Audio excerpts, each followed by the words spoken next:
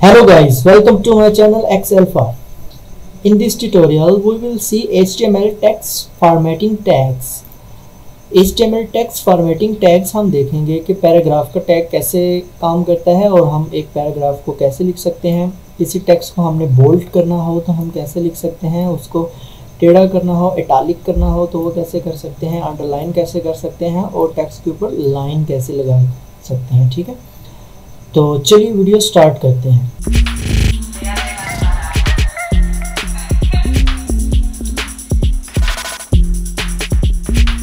Editor open कर लिया है। यहाँ पे हम दोबारा से अब एच का टेक्स्ट लिखेंगे। टाइटल के अंदर मैं लिख देता हूँ H T M L text formatting हम लोग पढ़ने लगे हैं। टैग्स ओके बॉडी के अंदर मैं कुछ कलर दे देता हूँ। अगर आपने कलर देना हो बीजी कलर यहाँ पे मैं इसको पिंक कलर ही दे देता हूँ। और इसको हम फ़ाइल को आ, सेव करते हैं। और ये मेरी फ़ाइल इसको मैं यहाँ से ओपन करता हूँ तो ये देखें। और कलर हमारे पास आ चुका है। ठीक है? अब हम लोग इसके अंदर अपने टैग्स को यूज़ करेंगे। अच्छा सबसे पहले हम लोग हेडिंग्स के टैग को देख लेते हैं कि एच के अंदर कितनी हेडिंग्स होती हैं। एच के अंदर टोटल सिक्स हेडिंग्स होती हैं। पहली हेडिंग मैंने यूज़ की है welcome to X X alpha इसको मैं सेव करता हूँ और यहाँ से रिफ़्रेश करते हैं तो ये हमारी पहली हेडिंग आ गई, ठीक है? अब इसी तरह से हम हेडिंग टू का टैग यूज़ करेंगे।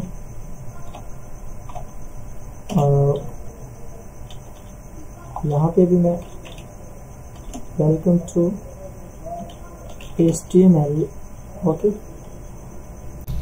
अब इसका हम लोग थोड़ा सा सिंटेक्स देखते हैं। पहली वाली एच वन वाली हेडिंग हमारी बड़ी थी एच टू वाली हेडिंग जो है वो हमारी आ, पहली वाली से थोड़ी सी छोटी है। अगर मैं यहाँ पे एच थ्री वाली हेडिंग लिखूँगा तो वो इन दोनों से छोटी हो जाएगी ठीक है? H T M L text formatting अब ये इन दोनों से छोटी हो जाएगी। तो इसी तरह से हमारे पास इसकी छः हेडिंग्स होती हैं। हम उनको बारी बारी यहाँ पे आ, मैं आपको रन करके भी दिखा देता हूँ। ओके यहाँ पे मैं लिख लेता हूँ हेडिंग्स और यहाँ पे हमारे पास फिफ्थ हेडिंग आ जाएगी इसकी। यहाँ पे भी मैं कुछ टैक्स लिख लेता हूँ। एल कोर्स और यहाँ पे मेरे पास हेडिंग सिक्स आ जाएगी। हेडिंग सिक्स में भी मैं लिख लेता हूँ। यहाँ पे हम लिख लेते हैं टैक्स लिख लेते हैं। ओके अच्छा अब इन सारी हेडिंग्स को हम वहाँ पे जाके देखते हैं। ये देखें।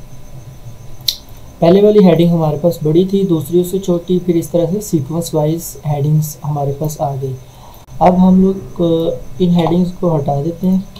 ओके अब मैं यहाँ पे एक अगर पैराग्राफ लिखना हो तो उसका टेक्स्ट हमारे टैग जो है वो हमारे पास होता है पी का टैग ठीक है पैराग्राफ के अंदर अब मैं यहाँ से कोई रैंडम पैराग्राफ अगर आ, उठाता हूँ तो ये एक पैराग्राफ है ठीक है।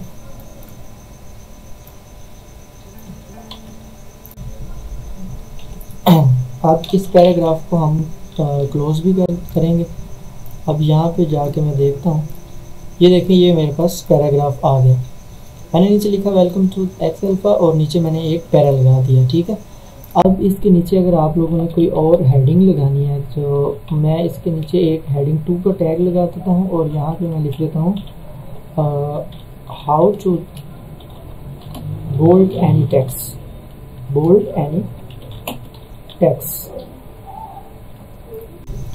अब नीचे मैं यहाँ से आ, अगर एक पहले वैसे सिंपल हम लोग बोल्ट का टैग यूज़ करेंगे। बोल्ट का टैग सिंपल बी होता है हमारे पास। बोल्ट का टैग लिखा मैंने और यहाँ पे मैं लिख रहा हूँ जी एक्स अल्फ़ा और इसको मैंने कर दिया क्लोज अब ये देखें। जिसको मैंने बोल्ट करना था उसको मैंने यहाँ पे बोल्ट टैग करके लगा दिया ठीक है? अभी अगर मुझे फॉर एग्ज़ाम्पल इस पैराग्राफ में से किसी सेंटेक्स को या किसी पैराग्राफ को अगर बोल्ड करना हो तो अगर मुझे यहाँ से इसको बोल्ड करना है राइटिंग को तो मैं यहाँ पे सिंपल इस तरह से करके बी लिखूँगा और इस आइडिया तक अगर मुझे प्रिंट करवाना है आ, मतलब अगर बोल्ड करवाना है तो ये देखें। राइटिंग से आइडिया तक वो हमारे पास टेक्स्ट जो है वो बोल्ट हो गया। ओके अब आ, हम लोग यहाँ पे नीचे आते हैं। यहाँ पे मैं एक यूज़ कर रहा हूँ ब्रेक का क्योंकि ये आपस में इनकी स्पेस नहीं आएगी। अब अब मैं यहाँ पे अटैलिक यूज़ कर रहा हूँ। ठीक है? चलें हेडिंग लिख लेते हैं। यहाँ पे हम लोग हेडिंग थ्री मैंने लिखी। यहाँ पे मैंने लिखा है how to italic and text in H और यहाँ पे मैंने उसको कर दिया हेडिंग थ्री को क्लोज कर दिया। ओके अब यहाँ पे मैं इस अटैलिक को यूज़ कर करता हूँ। प्लीज़ सब्सक्राइब दिस चैनल और यहाँ पे मैंने इसको क्लोज कर दिया। अब मैं इसका जाके वहाँ पे फॉर्मेट भी देखूँगा और ये हमारे पास टेक्स्ट जो है वो टेढ़ा हो गया अटैलिक हो गया, ठीक हो गया। और जहाँ पे मैंने स्पेस दी थी, ये देखें, ये नीचे हमारे पास स्पेस भी आ गई है। ओके अटैलिक हमारे पास हो गया। अब हम लोग देखते हैं जी how to underline a text heading four लगा के मैं यहाँ पे लिखता हूँ how to underline a text in HTML U tag होता है हमारे पास underline welcome to X alpha और यहाँ पे मैंने उसको क्लोज कर दिया टैग को। अब ये देखें, ये टेक्स्ट के नीचे लाइन लगी है, ठीक है? तो इसका टैग हमारे पास होता है यू टैग होता है हमारे पास। अब इसी तरह से अगर मुझे स्ट्राइक करना है किसी टैग को मतलब कभी आपने किसी वेबसाइट को देखा होगा कि जैसे लिखा था है this this item is not here लिख लेते हैं। अब ये स्ट्राइक टैग क्या करेगा?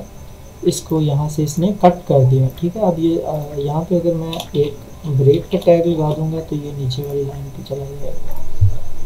ये देख, अगर मुझे ज़्यादा स्पेस देनी है तो मैं इसी ब्रेक को कॉपी करके यहाँ पे मैं ज़्यादा दफ़ा दे सकता हूँ स्पेसिंग दे सकता हूँ।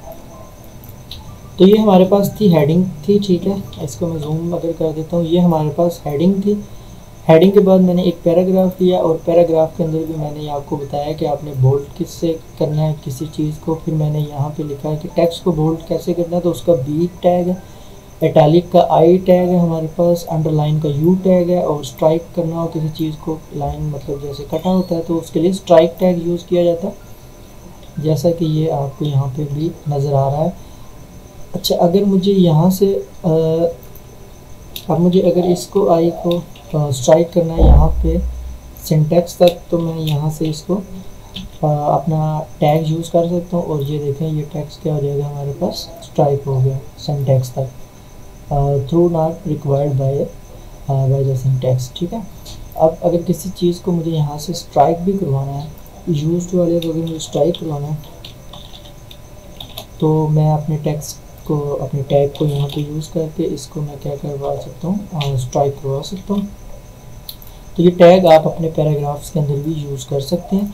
This is a very easy तो अब आप मुझे अंडरलाइन का बताएँगे कमेंट्स में कि अंडरलाइन करने के लिए हम लोग क्या यूज़ करते हैं और पैराग्राफ को भी अंडरलाइन करके आप मुझे बताएँगे। Thank you thank you for watching